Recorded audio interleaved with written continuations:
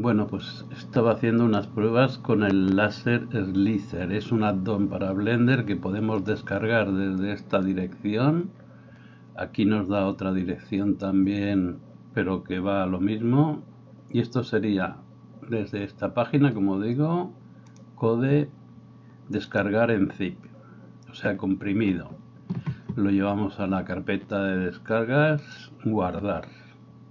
Abrimos Blender y vamos a instalar el addon. Para eso vamos a Edit, Preferencias, Preferencias, Addons y le vamos a decir que lo instale directamente, o sea, a presionar aquí, le tenemos que dar la ruta donde hemos descargado el archivo, descargas, y en este caso se llama Laser Slicer Master Zip.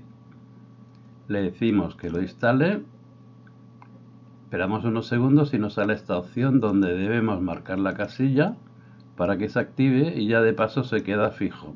Si tenemos esto puesto ya se guarda directamente. ¿Dónde sale este addon? Este addon sale en el lado de la derecha, el panel de la derecha, letra N. En, ah, en este caso ha salido al final del todo láser. Vale. Aquí tenemos una ventana con varias opciones. Mm, de momento vamos a lo sencillo que sería.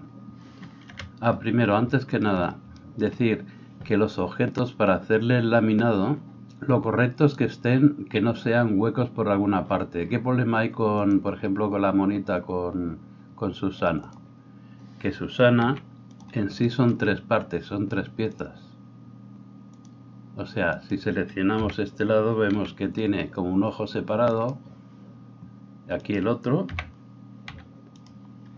y aquí el resto de la cabeza que sería esto de aquí vale. Eh, ¿qué es lo que he hecho yo? Eh, pues simplemente eh, unido primero a ver voy a borrar esto. H ocultar para que se vea en un momento lo hago. Lo que he hecho es primero quitarle una vuelta de los ojos internas. Sería X vértices y lo mismo aquí X vértices. Y luego lo que he hecho ha sido unir esta parte de aquí con la parte, dijésemos, del final de los ojos. Para que se vea bien, lo que voy a hacer es control más, control más, control más, seleccionar los ojos, moverlos hacia adelante.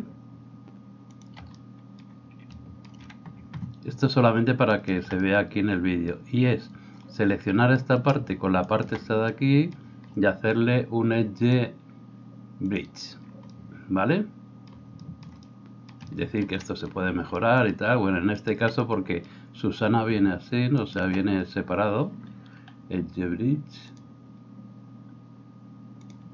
Y entonces lo vuelvo a poner en su, en su sitio.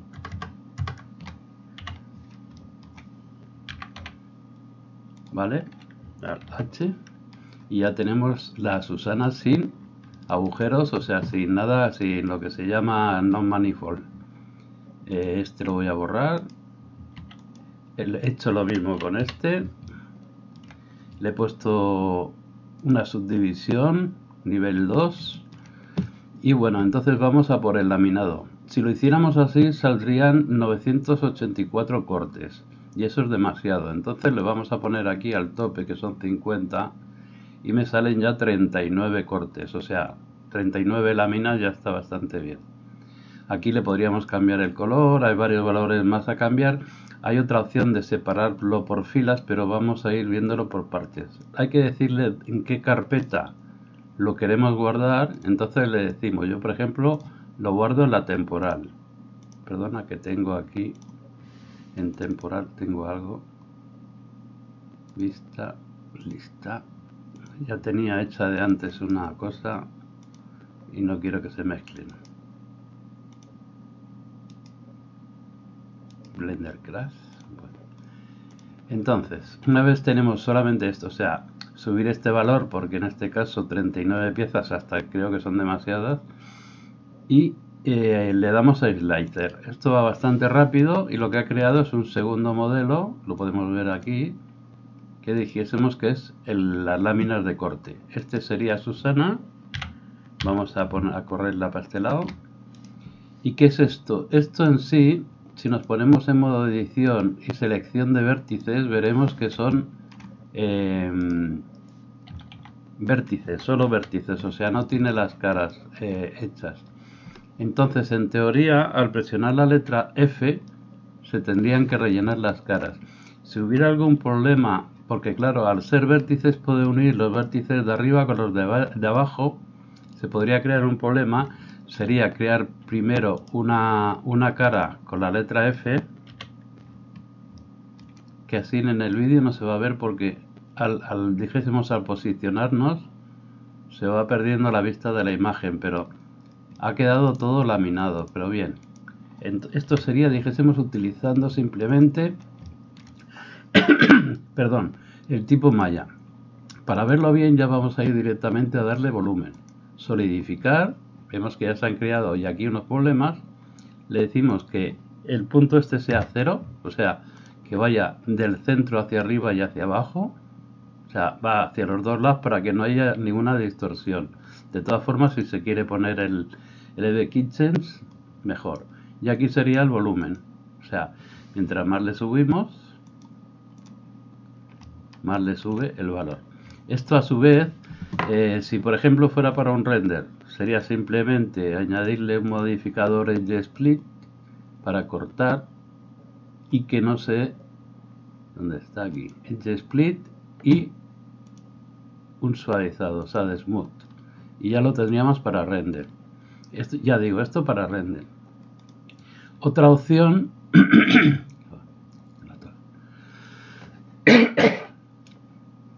Perdón. Em, otra opción sería dejarlo en flat, o sea, lo que es el esto, y luego eh, partirlo, o sea, perdón, voy a quitar, no, sí, voy a aplicar, no sé si aplicar, sí, aplicamos el modificador primero, luego modo edición, seleccionamos todo, letra P y le decimos que lo separe por partes. Esto lo que ha hecho es que ha creado trozos del modelo según lo teníamos laminado. ¿Se entiende, no? Y esto nos puede servir pues para impresión, impresión 3D y luego hacer montaje. ¿Qué otra opción tenemos con esto del láser? Vamos aquí, lo quitamos todo, está al centro. Vamos a volverlo a hacer lo mismo. A ver, no sé si ha hecho algún CT. No, vale. Eh, sin entrar en esto, vamos a hacer la otra opción que me gusta, que es la de convertirlo a curvas, que sería lo mismo, 50 cortes y hacemos el slicer con el objeto seleccionado vamos a separar esto, o sea, moverlo por aquí. Y ahora lo que vamos a hacer es convertirlo a curvas. Convert a curve. ¿Vale?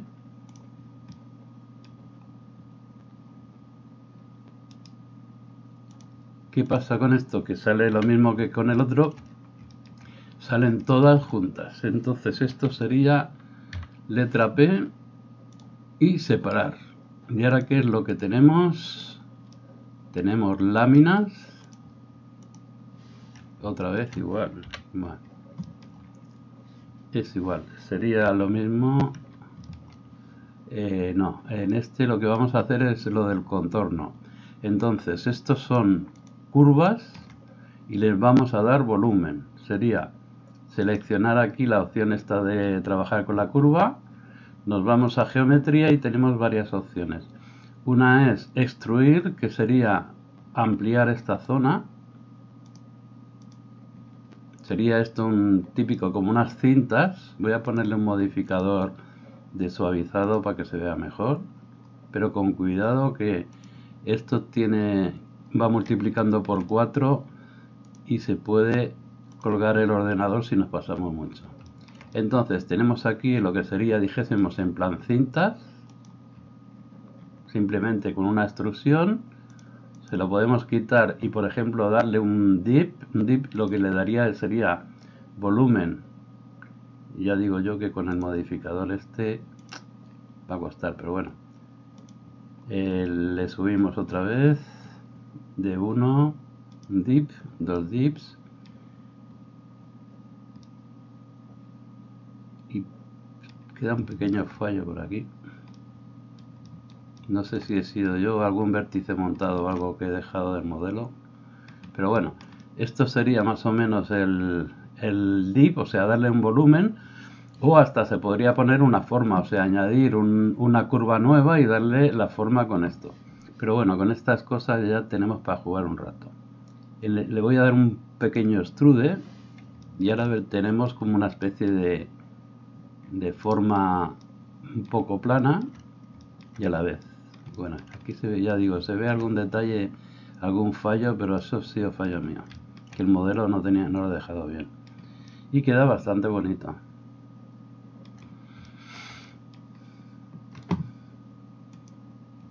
y esto pues en un momento dado podemos hacer lo mismo convertirlo a malla hacerlo por partes